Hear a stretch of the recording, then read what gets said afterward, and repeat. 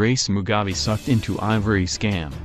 A state-sanctioned investigation into a massive ivory and rhino horn trafficking scandal that prejudiced the foreign currency starved nation of millions of United States dollars has sucked in former First Lady Grace Mugabe. Environment Water and Climate Minister Oppah Muchinguri-Kashiri sensationally claimed in an interview with the Daily News yesterday that Grace would occasionally raid the country's ivory stockpile kept at the Zimbabwe Parks and Wildlife Management Authority, Zimparks.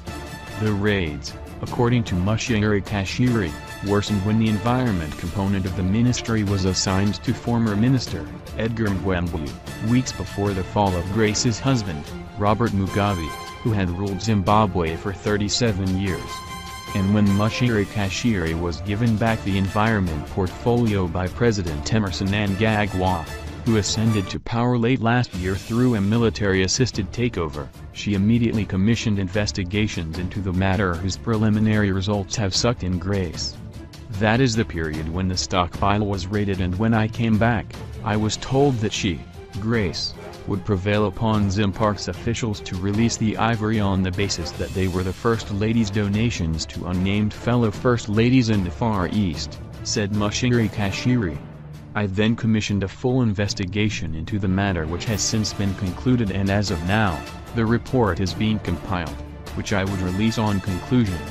In doing so, I was also covering my back because people would say the ivory disappeared under my charge and I would be held responsible. You have to expose these things, she said. The full report on the matter is going to be released soon, she added. The Environment Minister also revealed that a police officer who was leading investigations into a consignment of 200 kilograms of ivory worth at least $2 million intercepted by security details at the Robert Mugabe International Airport in December last year, had died mysteriously. The consignment was destined for the Far East. Government is also looking into the case of the investigating officer of the case who died strangely in Mozambique when he was pursuing the case.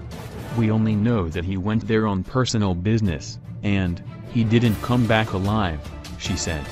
Officials from Zimparks recounted to the Daily News dramatic scenes that unfolded at the airport when the consignment, which was destined for the Malaysian capital, Kuala Lumpur, was intercepted.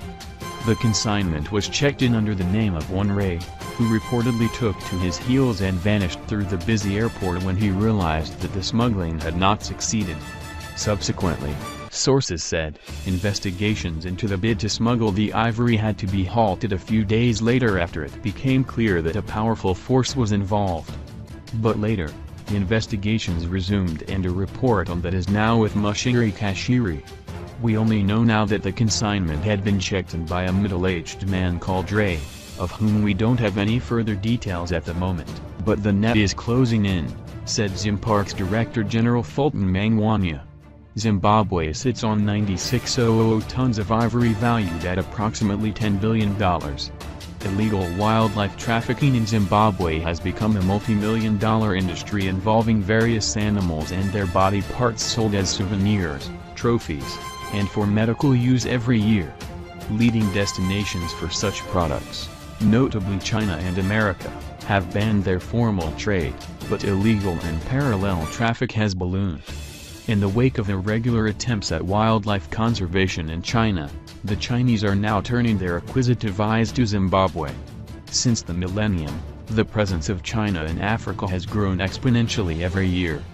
The demand for ivory, rhino horns, lion bones and hippo's teeth is insatiable. But this is having a detrimental effect on the conservation efforts as various wildlife species are at risk of extinction. According to the World Wildlife Fund, if rhino poaching increases at a steady rate, African rhinos will be extinct within a decade. Poachers receive up to $60,000 per kilogram representing an estimated $20 billion of the illegal international trade estimated at 1.3 trillion per annum. Wildlife trafficking is the fourth largest income-earning transnational organized crime after drugs, arms and human trafficking.